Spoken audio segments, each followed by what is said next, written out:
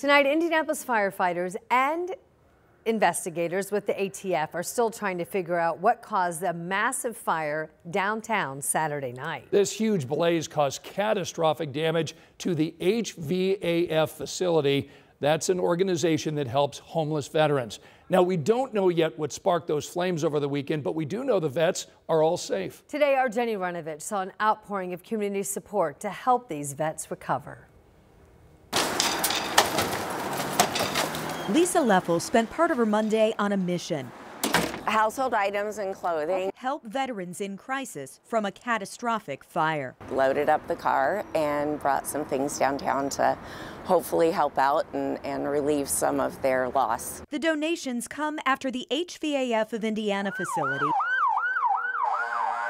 went up in flames at 9th and Penn, gutting transitional apartments that help and house homeless Hoosier veterans. It was heartbreaking to see. This is their home, their things are gone, and that's heartbreaking. The fire burned for hours, displacing 48 people. That was kind of the worst of it, um, but um, just kind of spread.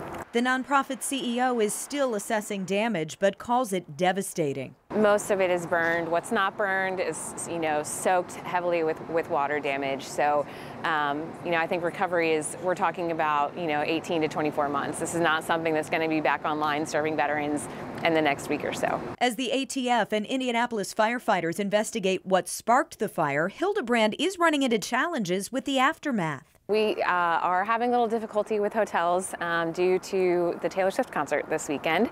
So we originally located all the veterans in one hotel on um, early Sunday morning. We had to relocate all of them yesterday. Three different hotels through next week. She says long-term housing will be a complex process until they rebuild. But in all this loss, we did witness signs of hope. We got sweatsuits, we got towels. After asking uh, for donations and sharing an Amazon wish list, so it's, it's coming in. Thank God got some help. So. They're getting an outpouring of clothes, food, and hygiene items, plus money to pay for hotels and transportation.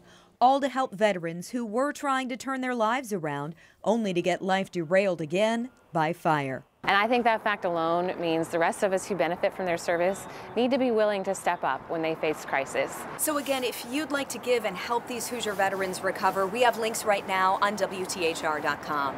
In Indianapolis, Jenny Runovich, 13 News. Jenny, thanks so much. And Jenny told us that the front part of that building did not get damaged in the fire, so their offices and also their food pantry are still open during regular hours.